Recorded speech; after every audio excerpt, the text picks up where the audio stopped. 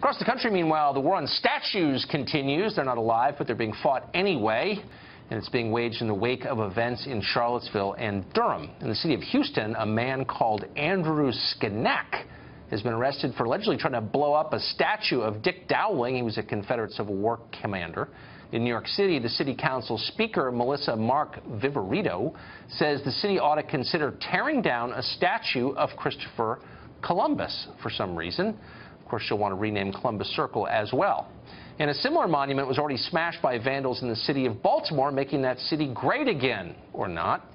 Kurt Schlichter writes for townhall.com, and he wrote that America is bored with fake drama over statues. He joins us tonight.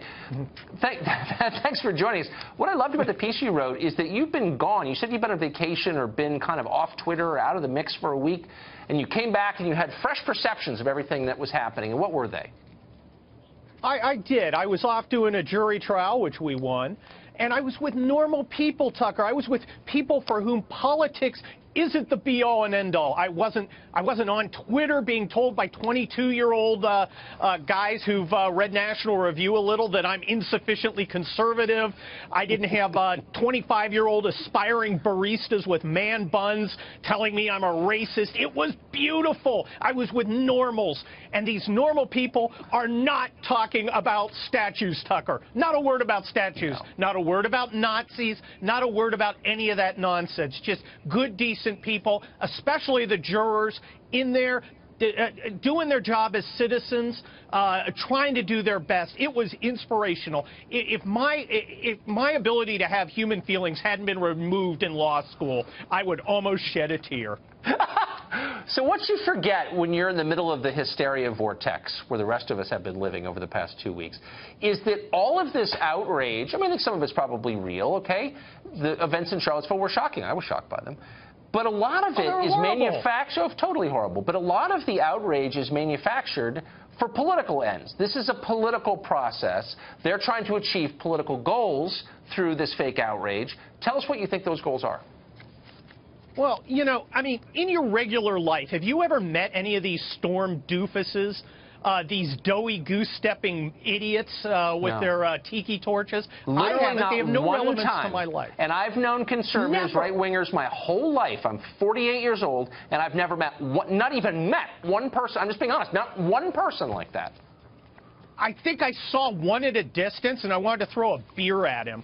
Uh, but, uh, you know, it's just, it, I think this whole campaign against uh, uh, statues is really kind of an attempt to establish a kind of secular original sin.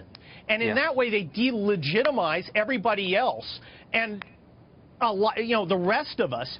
Uh, and of course, who who is left to come along and somehow redeem us and make us sufficiently woke?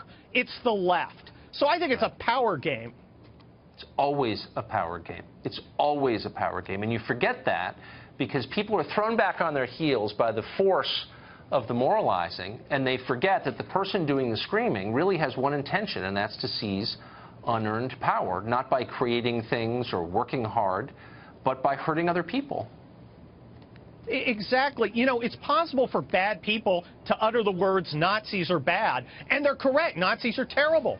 But some of these people have their own agenda, and they're using this you know, this, this chimera of, uh, of Nazis, all, you know, three dozen of these idiots are, are, are, supposed to somehow represent everything, and we're supposed to throw out our right to free speech. We're supposed to throw out our heritage. We're supposed to uh, sit and, and somehow feel guilty, uh, you know, because the third helping Reich is, uh, you know, both of them are marching around. And, it, it, and normal people just aren't buying that. Normal exactly. people see all these idiots and think, they have nothing to do with me. I don't like any of them. Uh, they're, they're, yeah. they're morons, and I want them away from me. Exactly. Kurt, call us next time you get back from a jury trial. I like your impressions. Thanks a lot for coming on tonight.